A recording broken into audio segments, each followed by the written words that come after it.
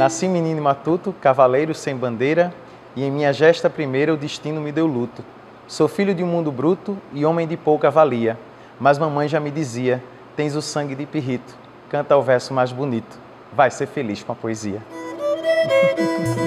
Sou Rafael, professor do IFPE, Campus Vitória de Santo Antão de Língua Portuguesa. É, utilizo o nome Sete Estrelo relacionado a uma cantiga popular predominante na minha família. Então, Rafael Sete Estrelo. Eu nasci em Vitória, morei 25 anos em Recife. Depois que já estava bastante tempo aqui, foi que eu voltei a morar em Vitória. Minha mãe foi a primeira pessoa que recitou um poema para mim, né? Que a professora falou de poesia na escola, eu acho que era a primeira série. E aí eu cheguei em casa perguntando o que era a bendita da poesia. Não sei se ela estava trabalhando com Carlos Drummond de Andrade na época, nas aulas dela, mas ela recitou no meio do caminho. O outro detalhe que eu tenho assim de lembrança tenra é ter visto a letra de Asa Branca na cartilha da primeira série. Eu me lembro que eu fiquei com aquilo na mente assim, quando vejo teus olhos espalhar na plantação. E eu morava na zona rural e tinha um milharal de uns 200 metros quadrados, um hectare de, de milharal na frente da minha casa e eu achava bonito aquilo. bonito é como se eu estivesse botando uma roupa no meu sentimento. Eu acho que quando eu percebi que eu queria ser escritor, eu já era e nem, nem sabia. Eu digo que o Rafael é vitoriense, Rafael é gloriense, mas o escritor nasceu em Jaboatão. Ele nasce lá na, na pegada recifense mesmo, que é quando eu sinto necessidade de escrita, porque já vinha trabalhando com minha mãe, né? Eu era aluno da minha mãe na quinta série.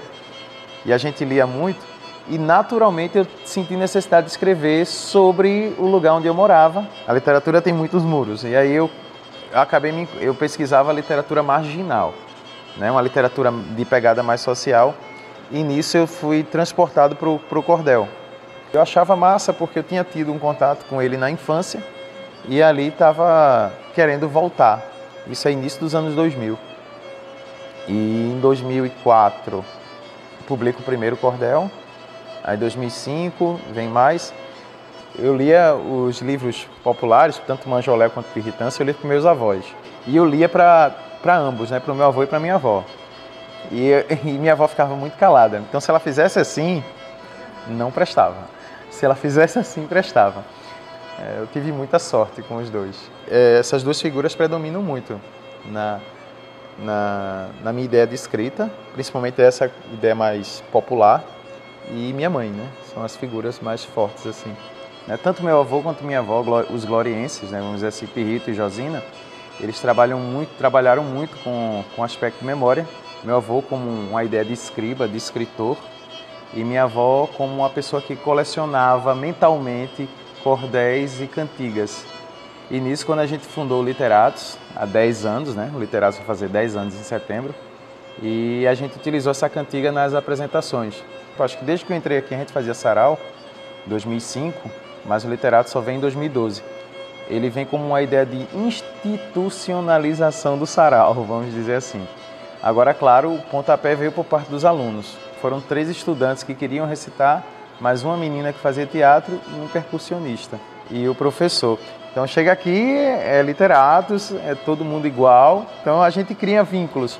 É, os meus ex-alunos aqui, os ex-integrantes do Literatos, eles são meus amigos hoje. O Literatos ele tem uma, uma pegada, os, os ex-integrantes eles acabam sempre tendo algum viés com a arte.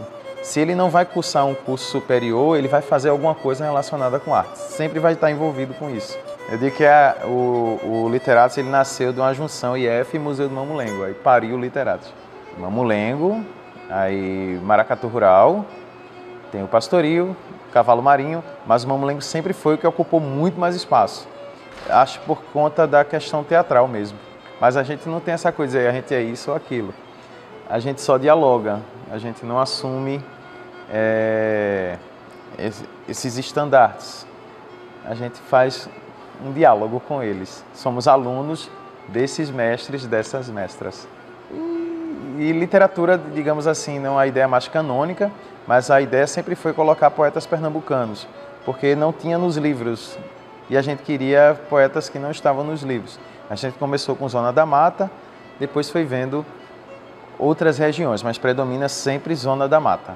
maracatu rural, mamulengo, cavalo marinho, é a, é a arte dos agricultores. Estamos numa escola de um referencial agrícola muito forte. Então, às vezes, até questiono, por que vocês não têm uma cadeira, os cursos aqui não têm uma cadeira sobre a arte, a arte popular da Zona da Mata mesmo, já que é da região. Praticamente, quase todos os anos que tem apresentação literatos, você tem esse viés histórico com, com o, o homem do campo. Eu acho que a gente faz um, uma apresentação do homem do campo. Se a gente for para a Glória, se a gente for para aqui, para Vitória, e tiver essas pessoas, os nossos avós, né? Se eles não baterem palma, então a apresentação não presta. Eu não estou criando nada aqui, eu não estou resgatando, eu só estou mostrando. Então acho que é uma das grandes sacadas do Literatos é isso. É, não é de resgatar, acho que é de manter mesmo. O Literatos venceu o prêmio do Ministério da Cultura. Prêmio Culturas Populares do, do MINC. Edição Leandro Gomes de Barros, 2017.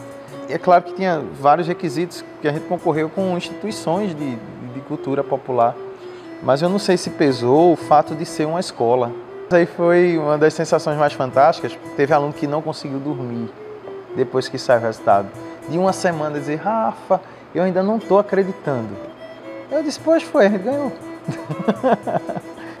o Literatos tem seus percalços. Hoje está difícil manter o Literatos. Então é difícil você manter um projeto de extensão, é difícil manter extensão sem o aluno receber bolsa. Mas é aquilo, se você não for fazer, quem vai fazer? Eu acho que quando você instiga o aluno a ter esse papel, se aproximar da literatura, ou então ele tem uma, uma verticalização, ele é vertical para a arte, você só precisa jogar o adubo ali, porque ele vai embora. A coisa evolui de uma forma maravilhosa, assim.